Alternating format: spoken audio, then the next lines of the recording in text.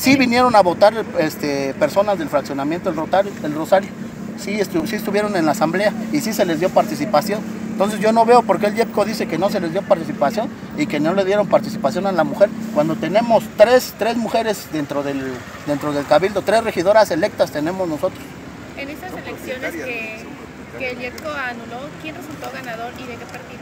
No, no, no. Aquí somos usos y costumbres. Nada más que sabemos que el que tiene metido las manos es Nueva Alianza. Entonces, este. Y Jesús Cervantes. Entonces, este, noso- nosotros acá, a nosotros nos invalidaron. Nosotros está- ahorita te- metimos un recurso de una impugnación que no sabemos dónde la van a dictaminar, si en Jalapa, aquí en el, en el Estado o hasta en el Tribunal Superior en México. Pero ¿Y ustedes en la asamblea quién eligieron? a Humberto Zárate. Él es nuestro presidente electo de aquí de San Sebastián Tutla. De hecho, nada más eh, para comentarle, las autoridades eh, que ahorita rigen como alcalde único constitucional y comisariado ejidal y de bienes comunales, ahorita nos están apoyando porque ellos sí reconocen la, la asamblea del 16 de, de octubre aquí en San Sebastián Tutla. Entonces hay una incongruencia muy grande de los consejeros.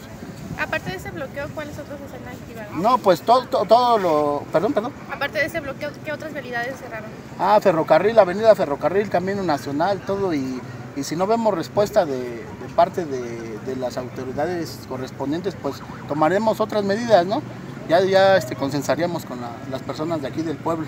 ¿Me das un nombre y cargo, por favor? Alberto Navarro Cruz, eh, regidor electo de aquí del municipio de San Sebastián Tuxtlas, Obras. Gracias.